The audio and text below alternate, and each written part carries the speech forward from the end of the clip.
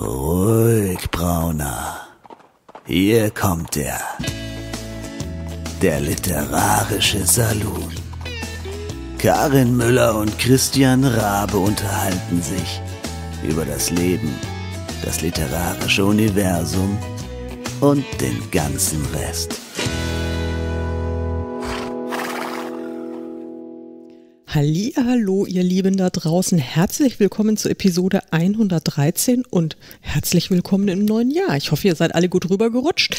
Hier am Mikrofon ist Karin in Frankfurt und am anderen Ende der Leitung hoffe ich, dass ist wir die liebliche Christian Stimme in Berlin, der ähm, Schwierigkeiten äh, hat, sich äh, auszudrücken, weil der Bauch immer noch so voll ist von allem, Oh was es Gott, an ja, guten Gaben ähm, über das Jahresende so gegeben hat. Ja, wie sieht's bei dir aus? Ja, ähnlich. Also ich stehe auch gerade. Äh, ich sitze nicht, Ei, weil ei, ei, ei. ähm, ja, also ich stehe an meinem Stehpult und ähm, um, um auch diesen, weißt du, so diesen Knick im Bauch, also so zu verhindern, dass ich einfach irgendwie die Schwerkraft versuche, das irgendwie, ich weiß, naja, äh, lass, lass uns äh, auf diese Details verzichten. Aber ähm, ja, also so diese Völlerei zu Weihnachten ist schon ein bisschen hardcore. Ja, also vor allen Dingen, ähm, wenn ich mir mal überlege, äh, wie, wie wir es dieses Jahr ähm, so gemacht haben.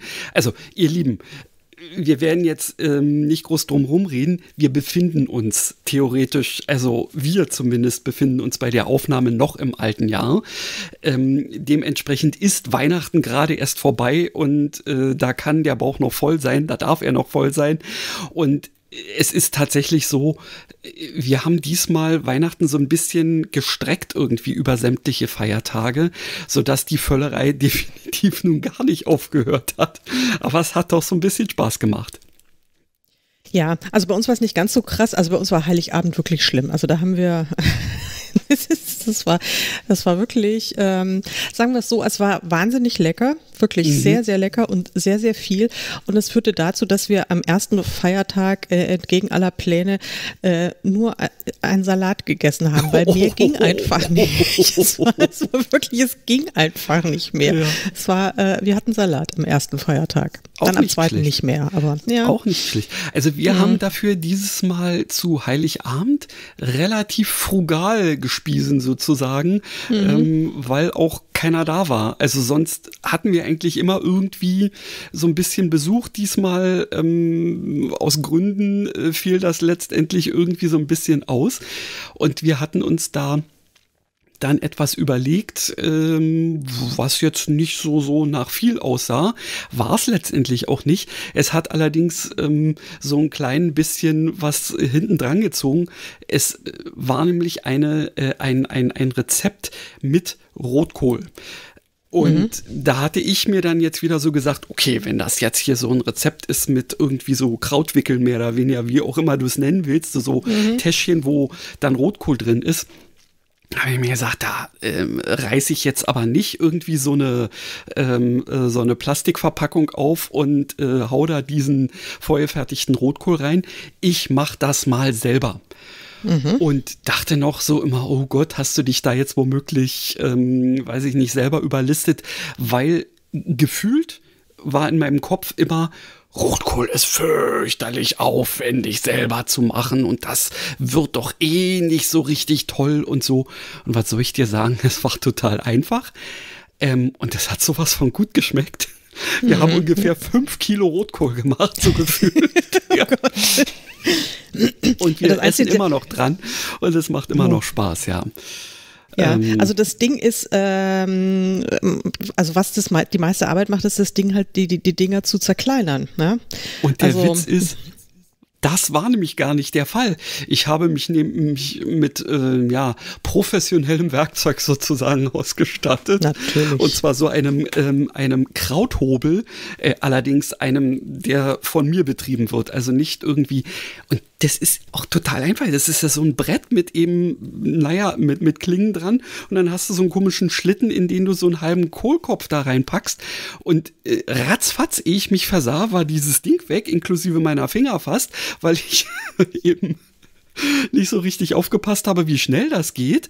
Ähm, und da dachte ich mir, na, das kannst du ja zukünftig auch selber machen.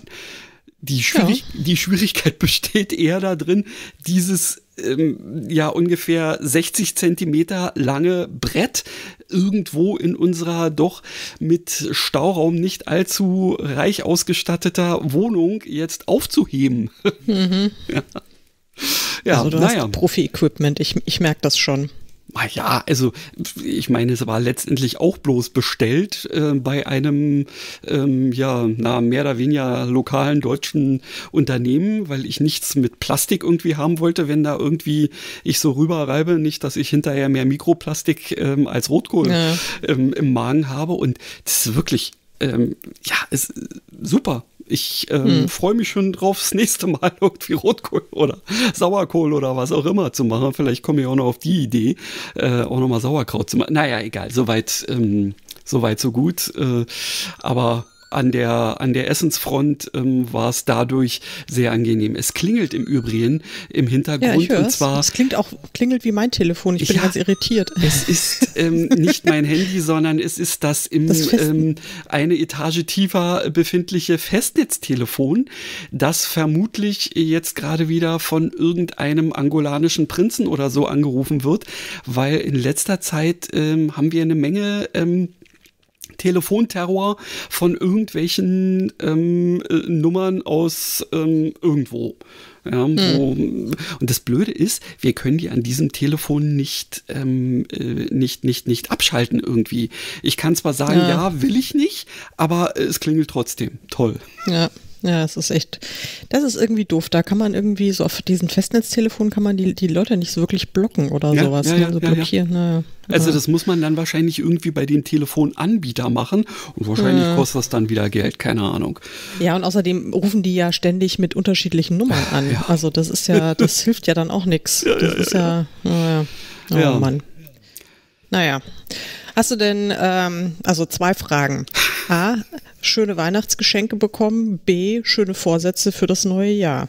Also ähm, A, ähm, Thema Weihnachtsgeschenke äh, fällt für mich grundsätzlich eher aus. Also weil ähm, wir beide haben uns ähm, tatsächlich schon seit Jahren, sagen wir, wir schenken nur den Kindern was. Hm. Ja, ja, wir haben auch von den Kindern ähm, was bekommen. Das war auch durchaus schön, aber es ist im Prinzip auch schon weg, weil es war nämlich Wein.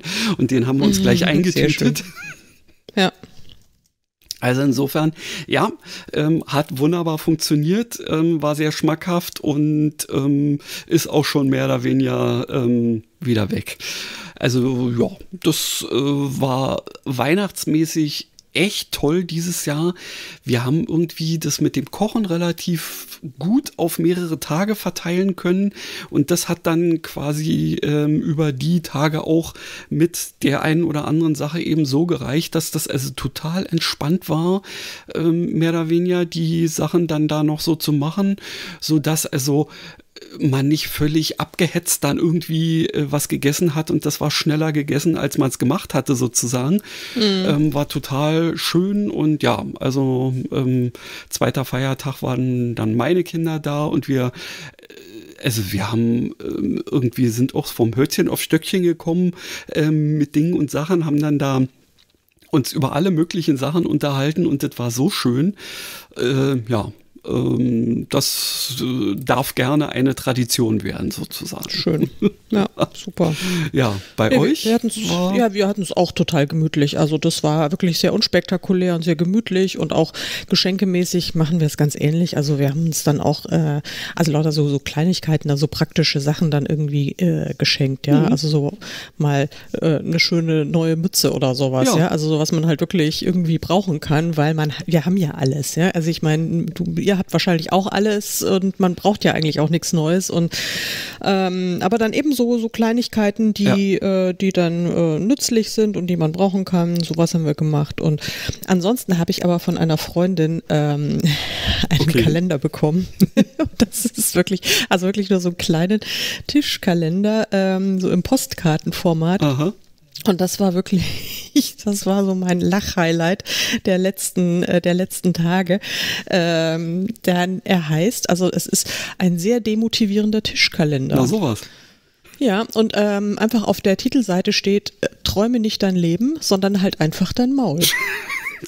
Ja, weil es wahr ist. Weil es wahr ist. Und dann geht's weiter, das muss ich vorlesen, weil es wirklich so großartig ist.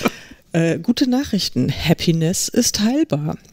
Millionen Menschen leiden unter chronischem Optimismus. Endorphine sprudeln geradezu unkontrolliert aus ihnen heraus. Unerträgliche Wogen der Zuversicht plagen nicht nur die Betroffenen selbst, sondern immer öfter auch deren Umfeld. Mhm. Ein schambehaftetes Thema, das viel zu oft vernachlässigt wird. Doch der demotivierende Tischkalender schafft Abhilfe.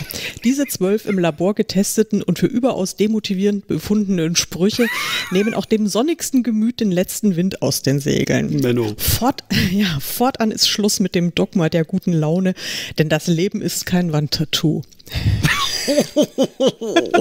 Ja. Und dann, dann kann ich nur sagen, Brace for Impact. Das ist wirklich, ich habe, also ich lag wirklich mit Tränen in den Augen am Boden, weil ich so lachen musste. Ja, ja, ja. also alleine schon äh, das, das Januar-Motto ist gut. Aufgeben ist eine Option. Jo. Ja. Jo, kann man machen. Muss kann man, man machen, nicht, oder? Kann man machen. Kann man. Ne? Wie wäre es denn, wenn wir ähm, äh, jetzt in diesem Podcast äh, eine Rubrik einführen, ähm, Karins Tischkalender, ähm, und äh, du packst immer zum passenden Monat, ähm, also zur ersten Folge im jeweils neuen Monat, ähm, das neue Dingens raus. Ach, das ist ja eine hübsche Idee. Das heißt, dann muss müssten ich, wir eigentlich, ähm, ja, das könnten ich noch einen Jingle dazu basteln. Moment, ich muss mir das mal aufschreiben. ja, oder anders formuliert, wir könnten auch mal, wir sollten eigentlich mal unsere eigenen Podcast-Folgen anhören, denn natürlich äh, im Intro zu unserer Weihnachtsfolge habe ich ja wieder in epischer Breite über ähm, äh, das, das tolle Vellum-Programm gesprochen mhm. und habe aber den Verdacht geäußert, dass ich es schon in der Folge davor äh, erwähnt hatte. Dann hast du mir aber versichert, nein, das hast du mir nur unter vier Augen erzählt. Mhm. Natürlich hatte ich es schon in der Folge davor, wie mir mehrere unserer geschätzten Zuhörer dann äh, so ein bisschen naserümpfend unter die Nase gerieben haben. Oh, Ihr Lieben, es tut mir wahnsinnig leid.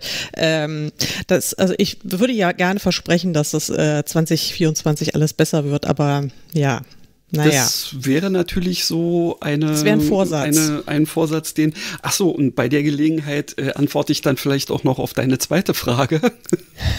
du hast ja. ja. hast ja gefragt, ob ich irgendwelche Vorsätze fürs neue Jahr habe. Also, ähm, ich habe einen Vorsatz schon umgesetzt. Ich lasse in diesem Jahr einfach mal hängen.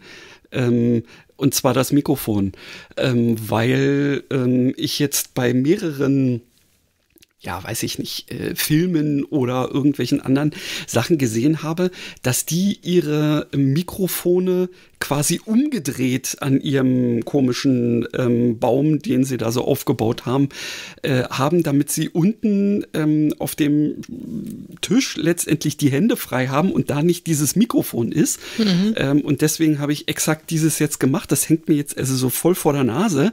Ähm, mhm. Für den Fall, dass es sich jetzt alles irgendwie blöd anhört, dann müsst ihr mir das einfach bloß mal sagen.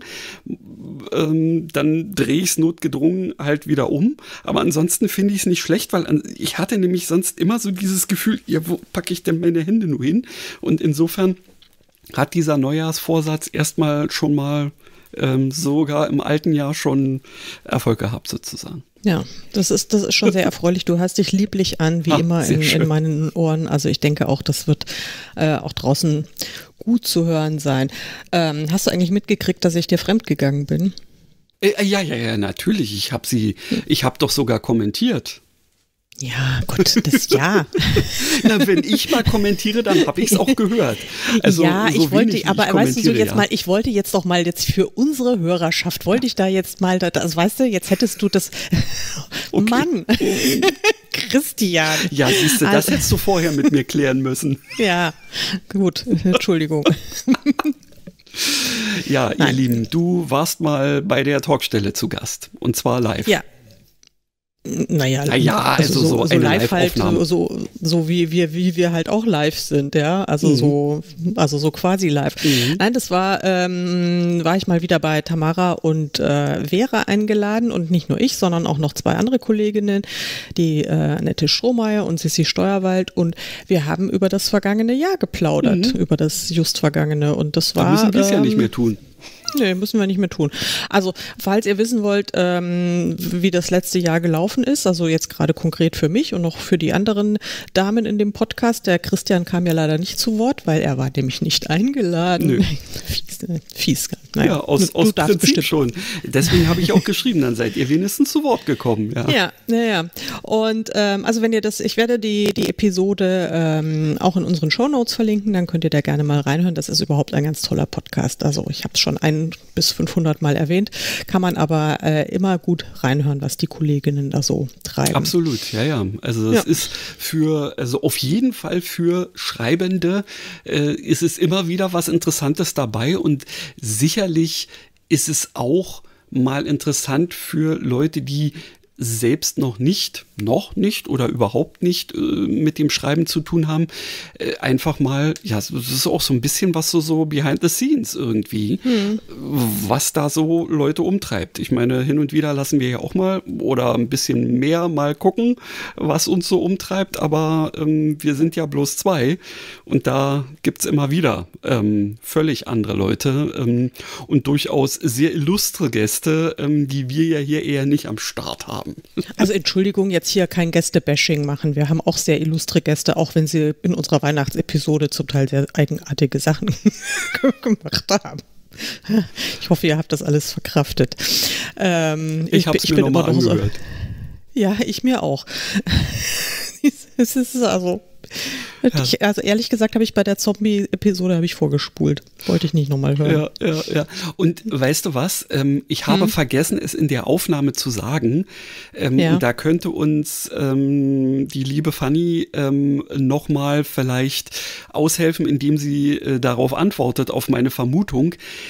Ich vermute nämlich, äh, dass diese Szene tatsächlich eigentlich ein Traum ist, in den die Protagonistin abgedriftet ist und ähm, äh, ja, weil sie aus welchem Grund auch immer, ähm, weiß ich nicht, irgendwie doch schon Vorsuppenkoma oder sowas hatte. Denn das, das, ähm, das passt irgendwie nicht.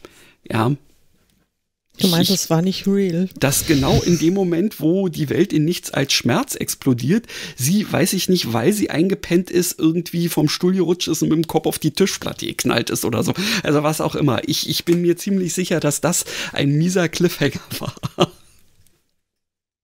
Ja gut, also äh, ich ehrlich gesagt will ich es gar nicht so genau wissen. Aber bitte, wenn du es gerne wissen möchtest und Fanny, wenn du darauf antworten möchtest, dann äh, ja bitte, bitte jederzeit. Wir werden da eine ähm, Richtigstellung oder Klarstellung oder Einordnung in der nächsten Folge dann gerne machen.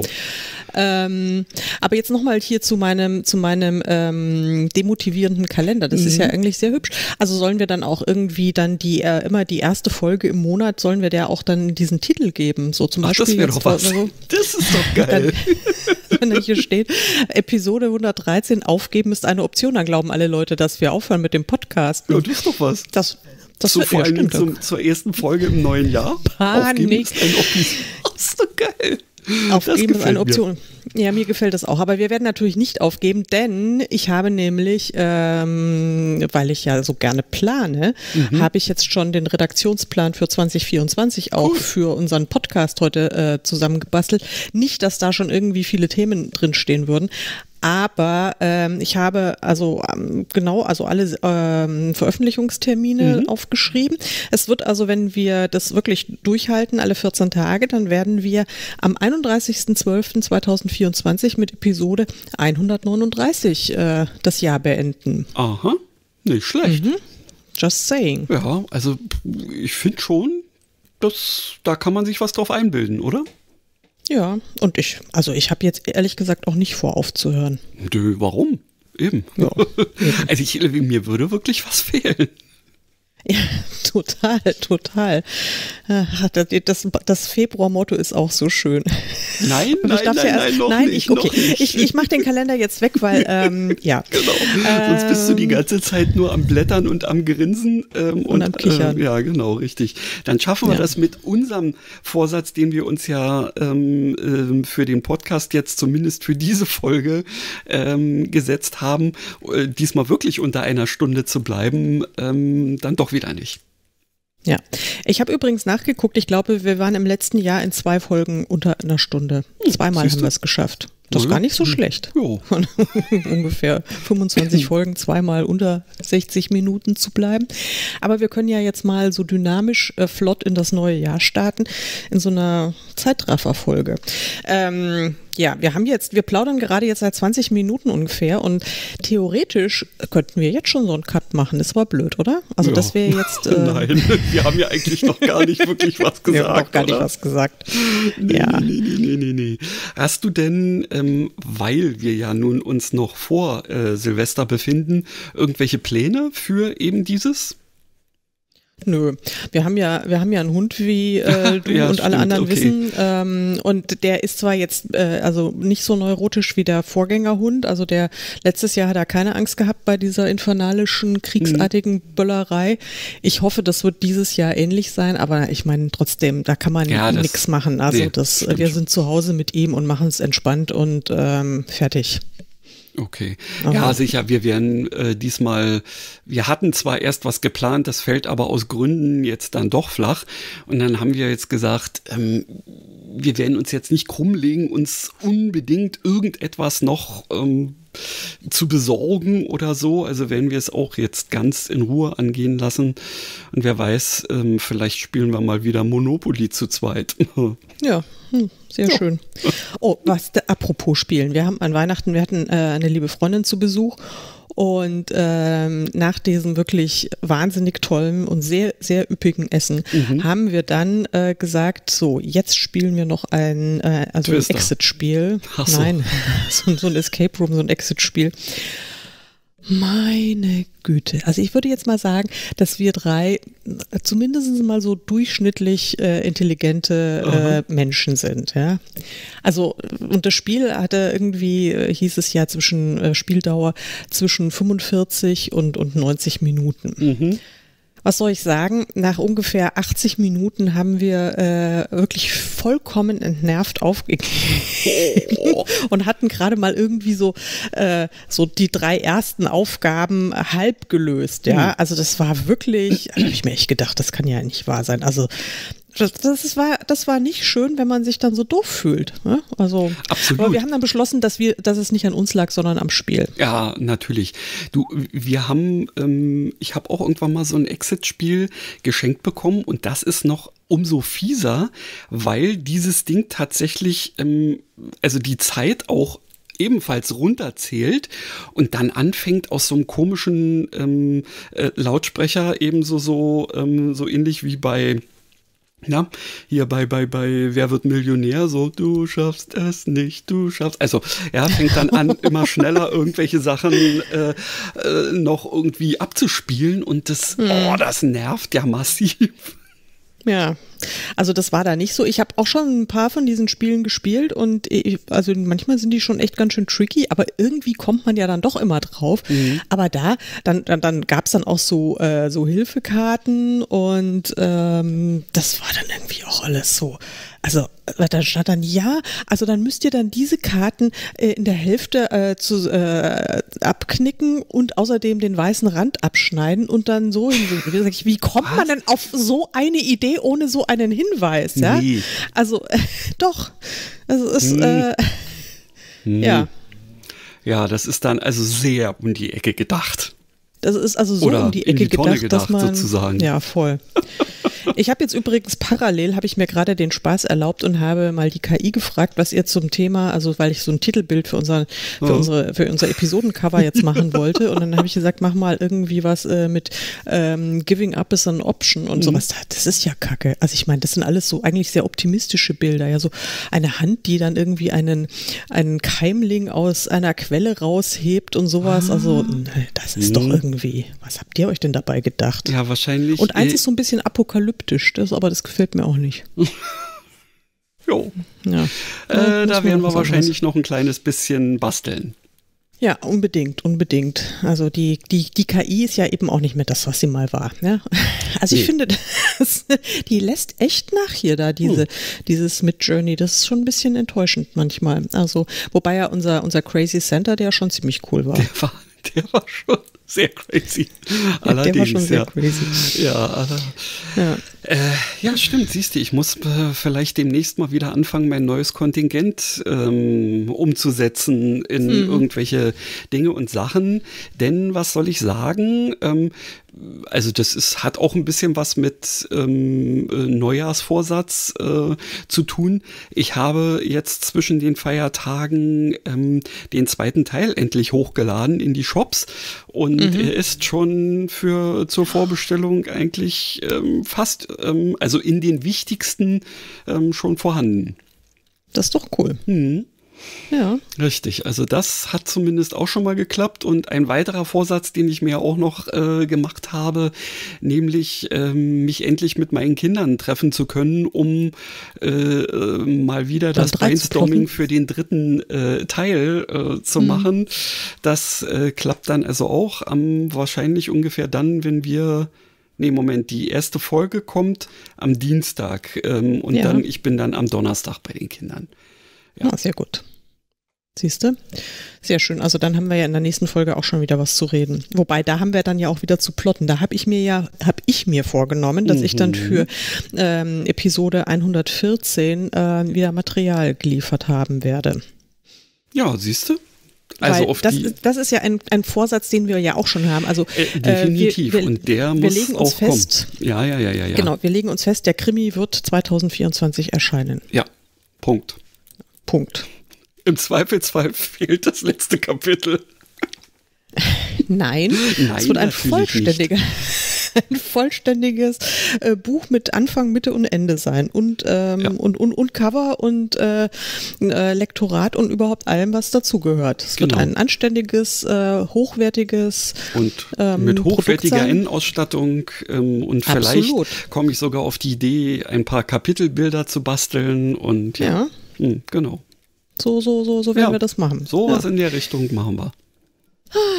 Ja, naja, ich habe auch ansonsten, ähm, habe ich tatsächlich auch äh, Pläne gemacht, ähm, was jetzt so beruflich, also ich meine, eigentlich ist es ja, was kann man schon planen? Man kann natürlich eine Menge planen, aber ähm, im Zweifel, wenn das Schicksal oder das Leben dann andere Pläne hat, dann sind die ja auch wieder null und nichtig.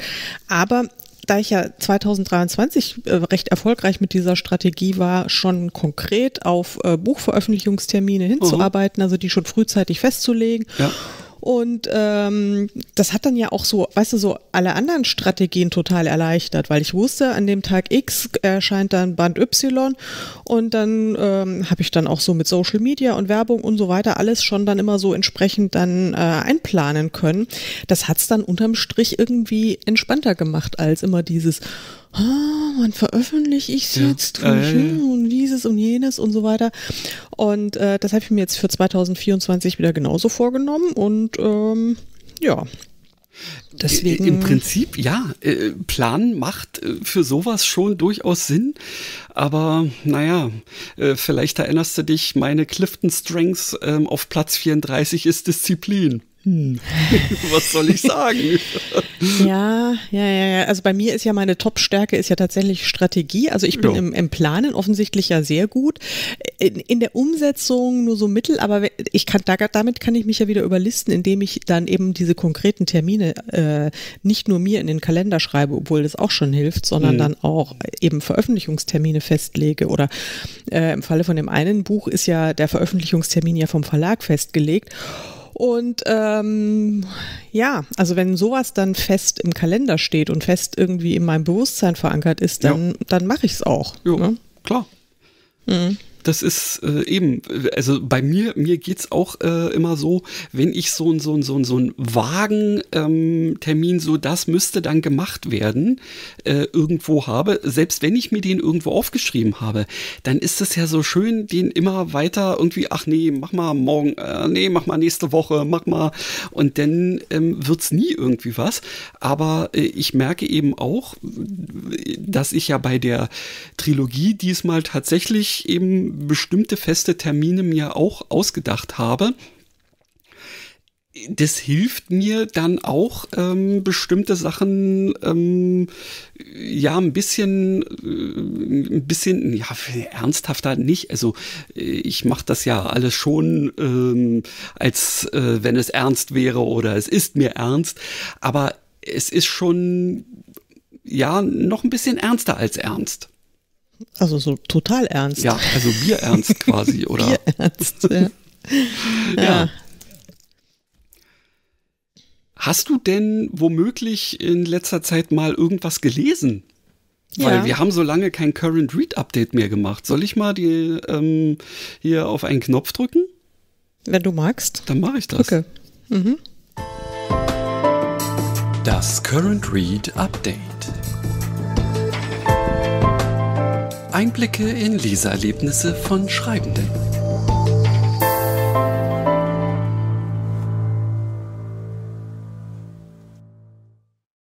Na, dann hau mal raus. Ja, ich habe eine schlaflose Nacht hinter mir, oh. äh, weil, ja, tatsächlich, also weil ich mir gerade wieder über eben Dinge, die noch nicht so ganz in meinem Kalender standen, ähm, wieder unnötig äh, Gedanken gemacht mhm. habe. Äh, und weil ich das verhindern wollte oder vielmehr eindämmen wollte, habe ich ein Buch gelesen, das ich gestern Abend angefangen habe. Anstatt da bin ich noch nicht sehr weiter weit gekommen. richtig konkret was reinzuschreiben in deinen Kalender, hast du lieber ein Buch gelesen. Ja, ich wollte ja nicht aufstehen. So, mein Kalender gut. liegt jetzt irgendwie nicht neben mir. Ja, äh, ich kann das absolut nachvollziehen. Sondern da liegt dann, da lag dann nur mein E-Book-Reader und ähm, deswegen habe ich das Buch dann wieder zur Hand genommen und habe äh, weitergelesen. Und zwar in, äh, in dem neuen Buch von äh, Lilly Laborde. Mhm. Das heißt äh, Zauber und Stab und ist so ein Spin-off von ihrem ähm, zum Café bei Mr. Dalton-Universum. Also das sind wieder die asperischen Magier sind so, tauchen so auf und, ähm, und es geht im Grunde um, naja, also Akademie ist zu viel äh, gesagt, aber äh, um die Ausbildung von, von jungen äh, Zauberstabmacherinnen. Ja, also talentierte, äh, zauberkräftige junge Menschen, die auserwählt werden, ähm, sich der Zauberstabherstellung zu widmen zukünftig und äh, ja. Und das war, das war cool. Also habe ich, hab ich mit großer Freude und, und großem Vergnügen gelesen. Liest sich auch flott weg, also selbst wenn man jetzt keine Vorkenntnisse hat aus mhm. äh, den anderen Reihen, weil das wie gesagt der Auftakt zu einer, der, der The Wandmaker Society, Band 1 ist es und wie gesagt Aha. heißt Zauber und Stab und das kann man, kann man sehr, sehr, sehr gut ähm, mal weglesen. Es ist natürlich wieder unfassbar spannend gewesen. Oho. An manchen Stellen auch ein bisschen. Na? Ah, naja, gruselig ist war es nicht, aber schon ein bisschen fies. Aber keine Zombies. Nein, nein, nein, nein, nein, nein. Gott sei Dank. Also ich bin ja jetzt sowieso nicht so der Fantasy-Fan und sowas. Ähm, die, fast die einzige Fantasy, die ich lese, ist ja die von, von Lilly, aber äh, Zombies hat sie glücklicherweise nicht dabei. Ja, also zombiefreie Zone. Aber natürlich auch schwarz, also wirklich tiefschwarze Magier, die auch sehr düstere ähm, Zauber wirken können. Ne? Oh. Also, ja, ist nicht so für ganz schwache Nerven, Alles muss man sagen. Also ja, ein kleines bisschen äh, düsterer als ähm, Mr. Dalton noch.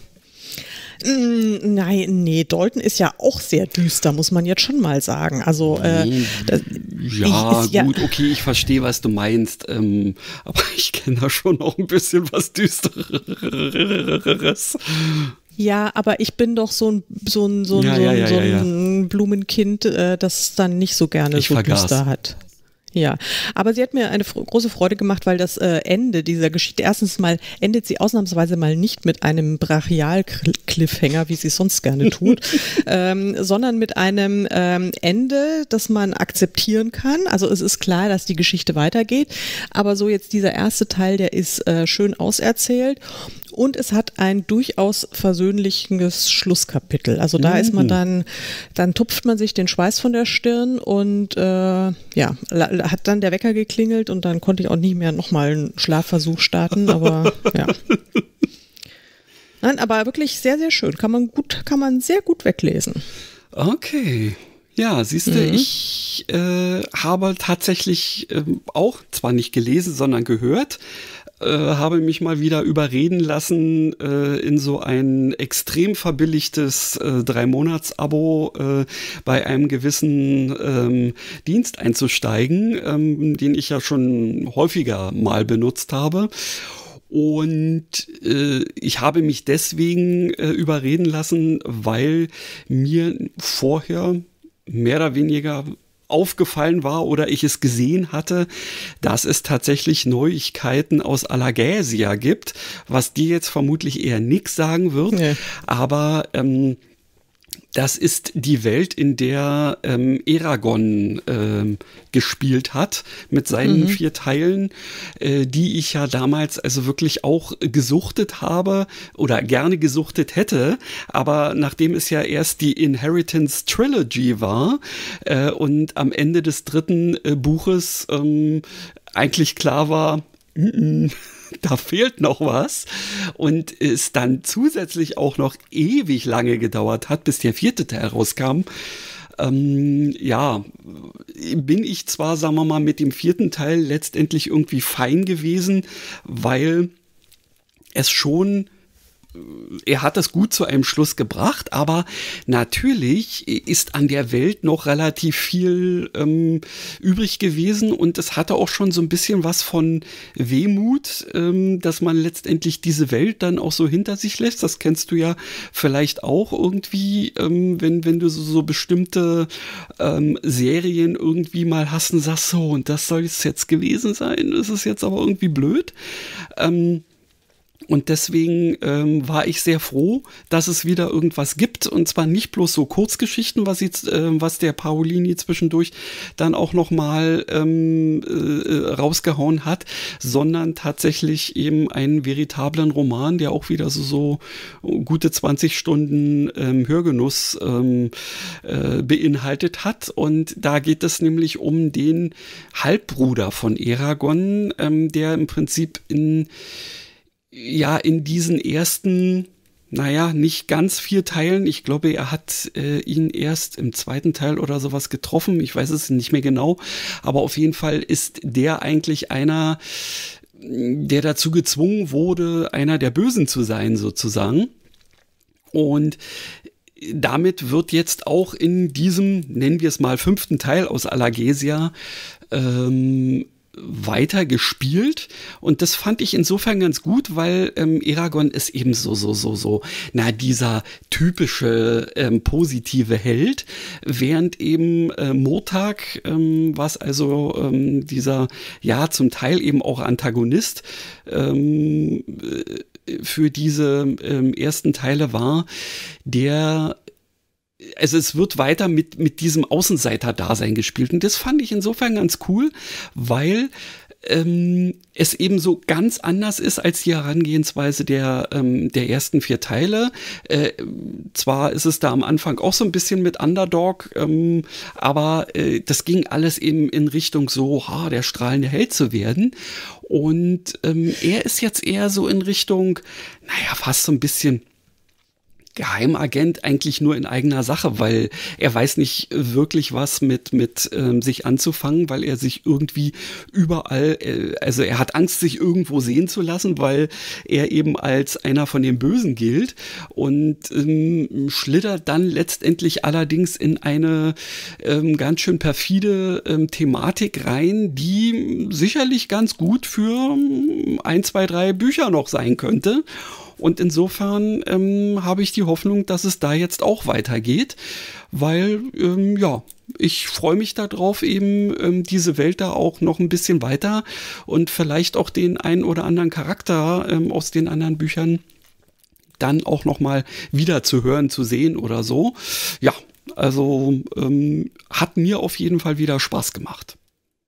Sehr schön. Willst du jetzt nochmal sagen, ähm, für Menschen wie mich, die nicht mitgekriegt haben, wie das Buch jetzt heißt, also von Christopher Paolini und äh, genau. der Titel? Murtag, also auf ah, Deutsch eine, gesagt. also eine so, dunkle genau, Bedrohung. richtig, eine dunkle Bedrohung. Es ist so ein kleines bisschen wie ähm, äh, Star Wars, Phantom Menace, na wie auch immer.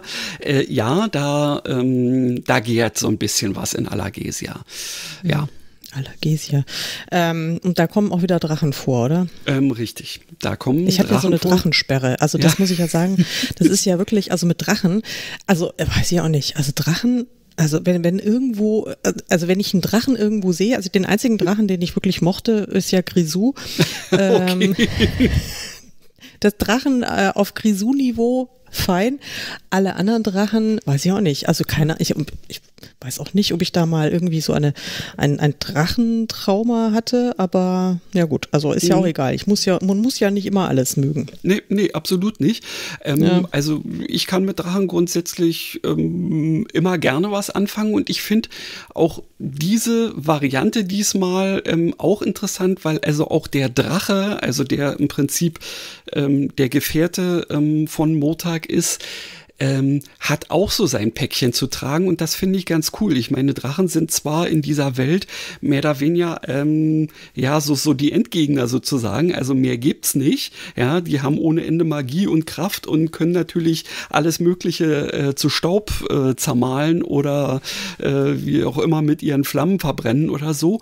Aber ähm, also diese diese Gefangenschaft und Knechtschaft, in der ähm, Motag eben und dieser Drache Drache Dorn äh, gehalten wurden, äh, die sind auch an ihm nicht spurlos vorübergegangen. Und das finde ich insofern äh, einen cleveren Schachzug von dem Paolini, dass er zwei so, so, so, ich will nicht sagen gebrochen, aber durchaus angeknackste Helden da jetzt äh, mal mit ja, mhm. beleuchtet oder so. Ja, sehr schön. Also mhm. wunderbar. Steht in den Show Notes. Äh, wenn ihr das lesen oder hören wollt, könnt ihr das dann tun. Mhm. Klingt jedenfalls für Freunde der, der epischen Fantasy ähm, ja. episch. Ja. wow. Das war cool ja. von dir gesagt. Sorry, dass sich meine Begeisterung so in überschaubaren Grenzen hält. Ach, ich sag's dir, ich, ich würde ja so gerne, gerne, gerne würde ich jetzt was erzählen. Und aber ich kann es nicht äh, nein, on the record nein, tun. Nein, mach es nicht, mach es nicht. Nein, ich mach's nicht. Weil das würde uns irgendwie in eine Verpflichtung reinbringen. Das du, ist, du fängst ah, jetzt aber schon wieder an, nein, Dinge ich zu sagen. Ähm, äh, da wird doch jetzt nur noch nachgefragt, oder?